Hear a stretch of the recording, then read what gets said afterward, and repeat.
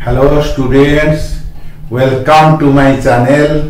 In this class, I am going to solve an important problem from multivariate calculus. The question is, if we is the volume and closed by a closed surfaces, and vector A is equal to xi cap, 2y j cap, 3z k cap, then prove that integration over S, vector F dot n cap ds is equal to 6b.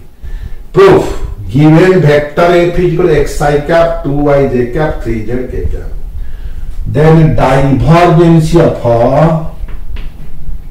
vector f is equal to nabla dot vector f is equal to i cap del by del x j cap del by del y k cap del by del this is the value of nabla dot vector F x Sai cap plus y j cap plus three z k cap so this is divergence of a भी nabla dot vector F this is equals to del by del x of x del by del y of 2y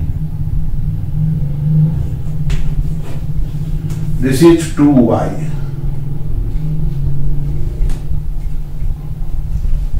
plus del by del z of 3z so you know i cap dot i cap 1 i cap dot j cap 0 i cap dot k cap 0 Similarly, j cap dot j cap 1, k cap dot k cap 1. So this is equals to 1 plus 2 plus 3 is equal to 6. So we get the value for divergence of A. Then the required integrals integration over A is vector f dot n cap ds is equal to integration divergence of f dv.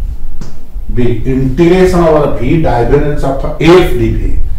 This is equals to, this is by Gauss divergence theorem. So this is equals to integration over B, the value of a divergence of F is 6 D. So 6 integration over B dV is equal to 6 b. So we get integration over S F dot n cap ds is equal to 6B. With this, the topic for this class is completed. I shall meet you soon with a new topic. Till then, goodbye.